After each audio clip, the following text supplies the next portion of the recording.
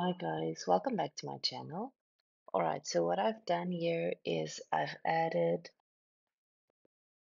240 grams of margarine or butter and then uh, half a cup of sugar. I'm going to mix it all together in my little mixer. You can always do this by hand. You don't need a mixer. The mixer just speeds up the process and I find that the butter and sugar mixture is more creamy.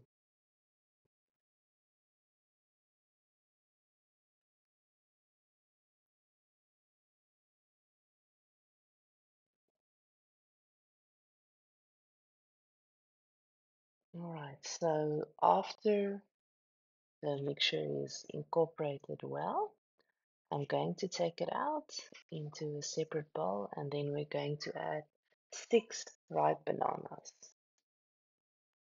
I like mixing the bananas in like this because breaking them up this way really speeds up the process instead of doing it with a fork like we did when I was growing up.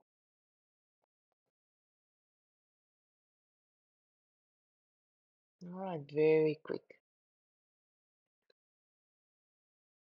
Alright, next I will add back in the sugar and butter mixture and then we're going to mix it again.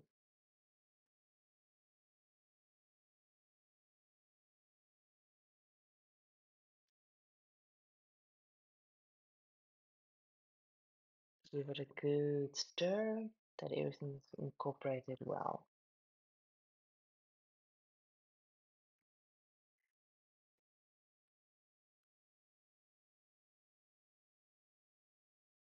Next, I added four eggs. It is suggested you add them one at a time for better incorporation.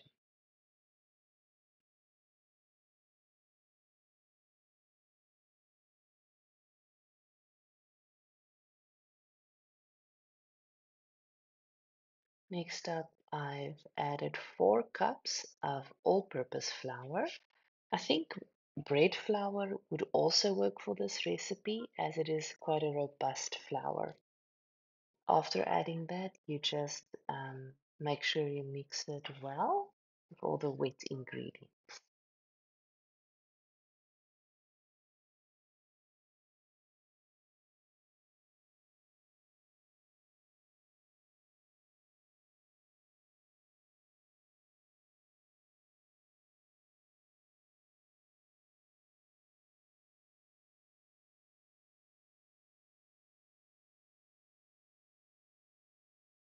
You'll see your batter now has a smoother consistency, and this is when you add the water. So it's 130 milliliters of water, and you dissolve two teaspoons of baking soda into the water. Mix it well that it will dissolve. Sorry, it is a little bit out of frame here as I struggled with holding the camera in one hand and mixing with the other. I will find a solution for this in my other videos. Alright, so I'm just adding a bit more water. Here I just, I used half a cup, so it's 100, 125 milliliters of water. You add it to your mixture and then you will thoroughly incorporate that.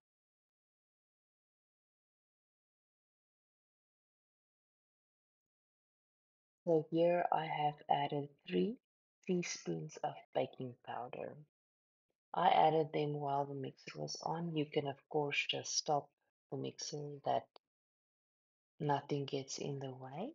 And remember to have your baking powder level in your teaspoon. If there's too much, it might rise a lot. We're adding a pinch of salt. This is about quarter teaspoon of salt. And be sure to preheat your oven to 180 degrees Celsius.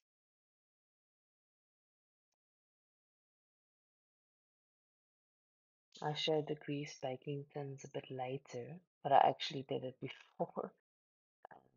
So we're adding our mixture into the greased baking tin. Try to ensure that there's equal amounts of batter in each tin, then your loaves will be the same size, which is always nice.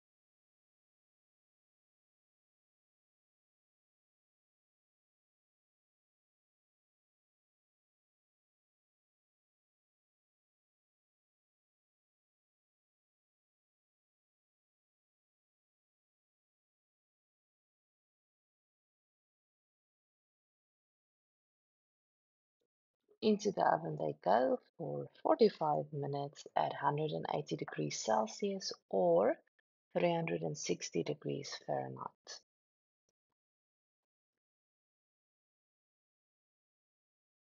This is how they looked about halfway into the process, nice and risen.